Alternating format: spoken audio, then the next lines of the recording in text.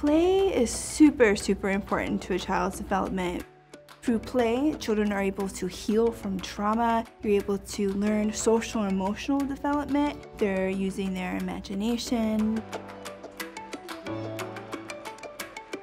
Play is important for our special needs kids because that is how they learn who they are and how to incorporate themselves into the normal world.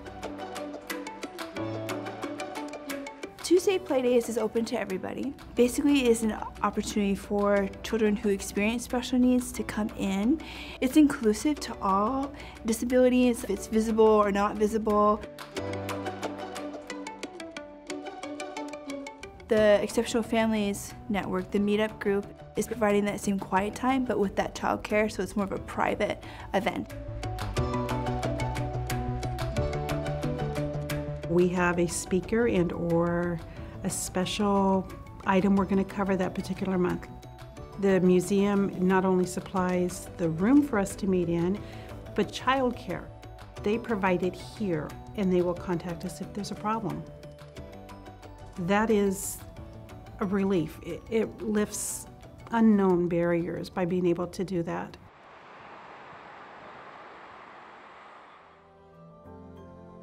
The programming at the museum is very helpful because our parents are aware of what's going to transpire.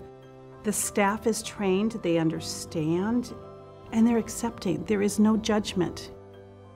You can actually breathe and be okay.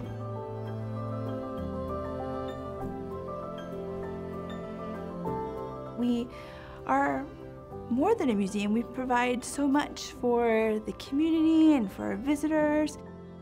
I know that the work that we are doing is so much bigger than our organization itself and bigger than myself. I mean, what a better way to like wake up in the morning and be like, yes, I helped a kid today.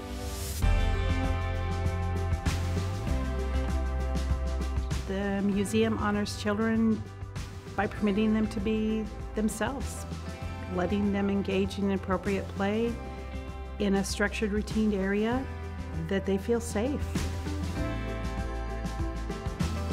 Every child deserves the opportunity to learn, to thrive, to grow, to be healthy.